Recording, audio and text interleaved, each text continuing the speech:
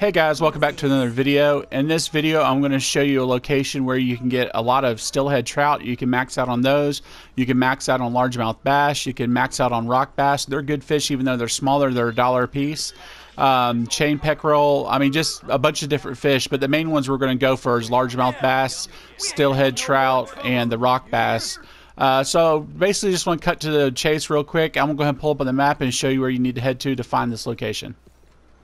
So where we're going to head to is right here, southwest of Flatneck Station. It's actually just north of Blackwater. We're going to be heading right down here to this little cove, right here, this little indention where the water comes in. Also, too, with this, you'll need a, either a turkey or a raccoon. And you can find turkeys and raccoons all around Flatneck Station. I just have a lot better luck with either a turkey or a raccoon just because it leaves more room for the fish to bank themselves when they come up and check on the dead carcass. So now that we arrived at location, we need to go ahead and figure out where we want to put the two different carcasses. I'm going to go ahead and grab the raccoon and set him up first. And like always, you always want to make sure you got him just where he's just barely in the water. And, you know, when you place the raccoon, it's kind of like the turkey as well. He kind of just flings it. Um, so once you got it placed there, whatever, go ahead and pull out the fishing pole and kind of, I guess you basically make the fish spawn. Um, some are already there, but with this, it makes the bigger fish spawn. So you would kind of want to see where they're laid out so you know where to put the second carcass at. And sometimes you end up having to move the carcasses around a little bit because the fish will kind of start shifting around on you a little bit. But yeah, before I could even get the second carcass out, I mean, you could already see some of the um, largemouth bass are already kind of coming after the raccoon. So, which that's a good thing. I mean, that's what we want. So, with this area though, there's actually two different ways you can do it. One, you could just do the regular carcass fishing, or two, you set up the carcasses and then you go on the other side of, I guess you, I guess you would call it a peninsula, and shoot across back towards where I'm standing right now, and you actually scare the fish up onto the shoreline. So. I'm going to go ahead and just kind of just see where the fish are at and where I need to come around on the other side um, because that's my preferred way. It's a lot faster for me. Um, but yeah, I mean, right away before I even start trying to do the gun method, I mean, I've already picking up a lot of the the bass right there. So um, yeah, I mean, it's a good location. Again, you know, I haven't really used raccoons a lot, but the fish seem to like raccoons and turkeys a lot, which turkeys I've used before, but raccoons I've really never even bothered with. I've done the muskrats and stuff like over by Lemoyne and stuff, but that's really about it. So basically, you could come on the side right here. You can either choose to go on the shore on the other side, or you can actually step off the shore a little bit here. Um, so like this way, I'm just showing you different ways you could do it. This way, I'm getting some of the largemouth bass. Um, they're the, probably the easiest to spook. Um, actually, that scares a couple of them actually up underneath the, uh, the turkey's uh, carcass or whatever, so I have to move that. Uh, ah, crap, I lost that guy just trying to move him around. But anyway, no big deal. We'll make up for it. So um, the other way you could come around here, uh, I usually pull out the fishing pole, so as, as I'm coming around, they start spawning, so I can kind of see where the bubbles are at. And with this method, I did a video on it a while back.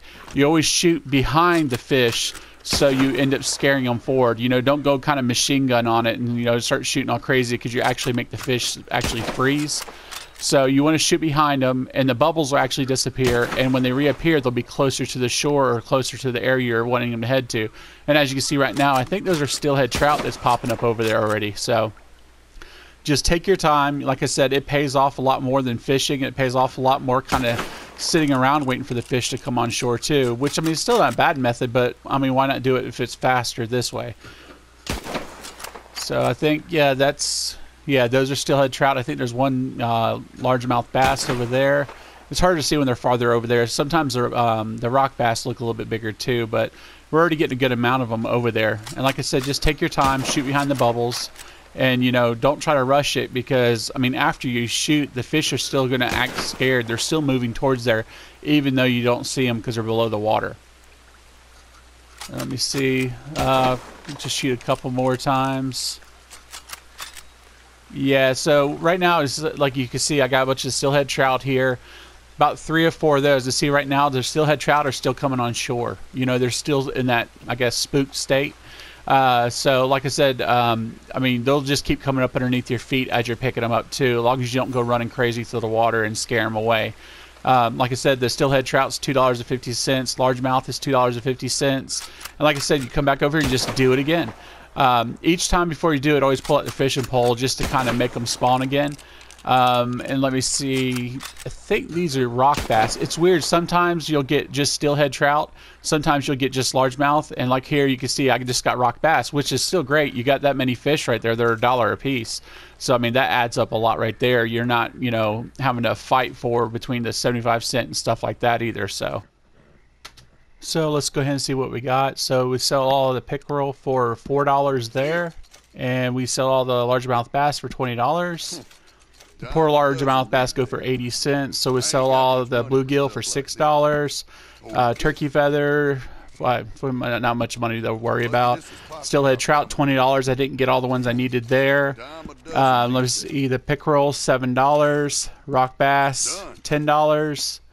Uh, and then you just got the turkey carcass and the raccoon. So for a total around $71. So I mean, it was really good. Um, like I said, I could have got more of the other ones, but I just didn't choose to stay longer. So that's pretty simple, guys. I hope it helped you out. If it did, I'd appreciate it if you would like and share the video with your friends. Also, to subscribe, click notification bell, so whenever I have videos come out, you get notified right away. And again, guys, like always, I'll catch you next time in the next video.